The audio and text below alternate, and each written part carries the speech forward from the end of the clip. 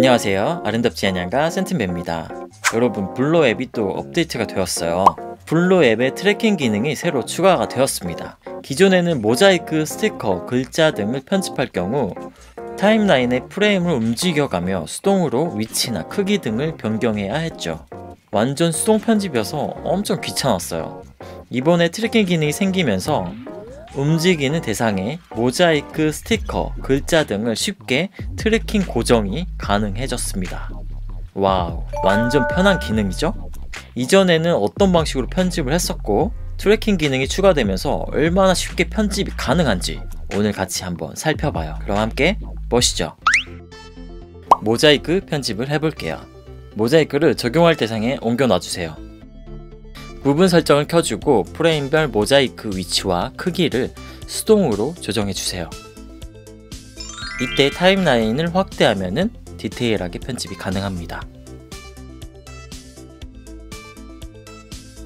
이렇게 수동으로 움직이는 대상에 모자이크 편집이 가능합니다. 모자이크를 적용할 대상에 옮겨놔주세요. 트래킹을 눌러주세요. 트래킹 red box로 범위를 지정해 주세요. 트래킹 하기를 눌러주세요. 타임라인을 움직여가며 트래킹이 잘 됐는지 확인해 주세요.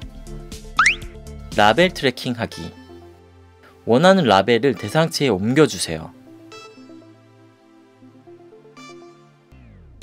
이전과 같은 방식으로 트래킹을 설정해 주세요. 트래킹 범위를 정해 주세요. 트래킹 하기를 눌러주세요. 타임라인을 움직여 트래킹이 잘 됐는지 확인해 주세요. 스티커 트래킹하기 원하는 스티커를 대상체에 옮겨주세요. 이전과 같은 방식으로 트래킹을 설정해 주세요. 타임라인을 움직여가며 트래킹이 잘 됐는지 확인해 주세요. 글자 트래킹하기 원하는 글자를 대상체에 옮겨주세요. 이전과 같은 방식으로 트래킹을 설정해 주세요. 타임라인을 움직여가며 트래킹이 잘 됐는지 확인해 주세요. 그 외 PIP 이미지, GIF 등은 트래킹 기능이 제공되지 않습니다. 참고하세요.